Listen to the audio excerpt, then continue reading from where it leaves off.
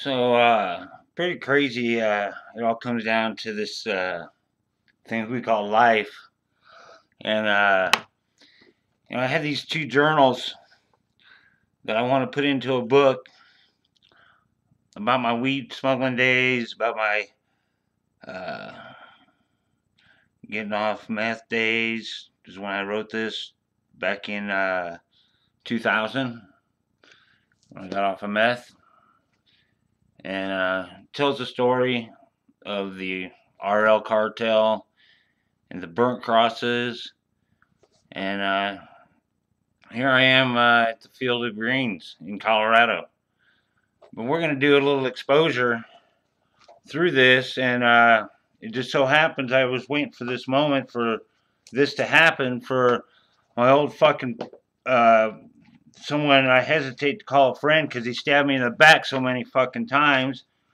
Uh, city councilman in Des Moines, who somebody wants to expose him for his picture with Trump, and I'm laughing. I'm like, hey man, I got pictures of us. I got pictures of us when we were fucking moving hella weed. Hella weed. So sit back. I'm gonna fucking make these videos instead of typing out and transcribing everything so I can put it in a book. I am just gonna fucking make an audio book. I'm gonna fucking smoke some fucking weed. And we're gonna fucking talk about Southside Des Moines, about some motherfuckers, about some cool motherfuckers, about some cool people.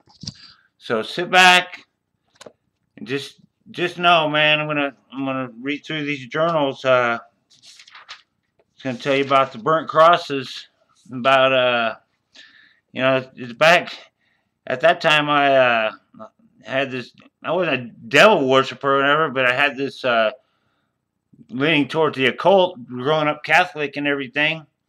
But uh, come come to find out, you know, the devil and heaven and God and Satan and all that is just man-made bullshit. It's all make-believe. There's life, there's death. Okay? So I'm alive. I'm 52 now. Most this takes place uh, back to time starting when I was uh, like 14 years old. Takes me into takes me into my uh, early 20s. But uh, you know, the rest of the deal will pick up uh, on the next part. But uh, I guess it kind of ends right before I uh, really started moving a lot of weed to Iowa from Tucson. So there was a lot of crazy times and with a lot of crazy people that we uh, throughout those times. Iowa City, a lot of love to Murph, Willie, Rankin. So, uh, and uh, thanks for everybody that supporting the RL cartel. So uh, I'm going to get these videos going. And uh, we're going to have us a little laughter. Because uh, I got kind of been waiting for this moment, for this exposure, seriously. Uh, and this uh, this will give you a little brief of it. When I want to show you these pictures.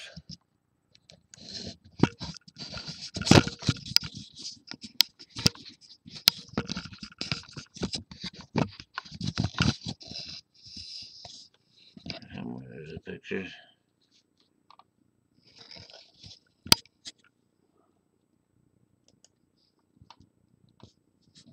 There we go. Ah. See.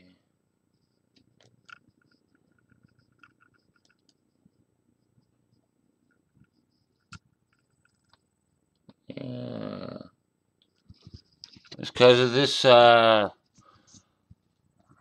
this guy, this city councilman, let's just say, uh, there he is. They say he's not fit for Ward 4 City Council. This picture with Donald Trump. And that's the funniest thing is, that's the only thing, I'm not a fucking racist. Trump's a racist motherfucker. I mean, just say Joey's got, hey, let's just say I'll get into that at, at another time. But, uh, you know, Trump doesn't believe in God either. So uh, that's the only thing that me and Trump got in common. So uh, yeah, it's time to just expose this prick.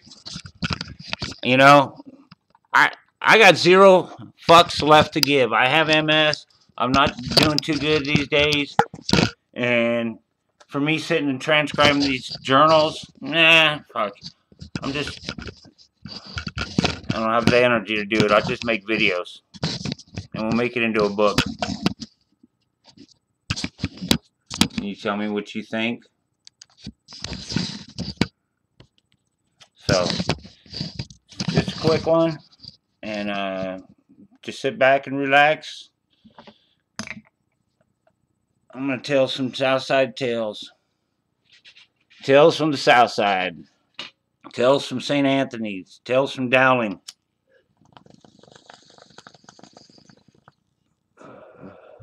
Tales from the dark side.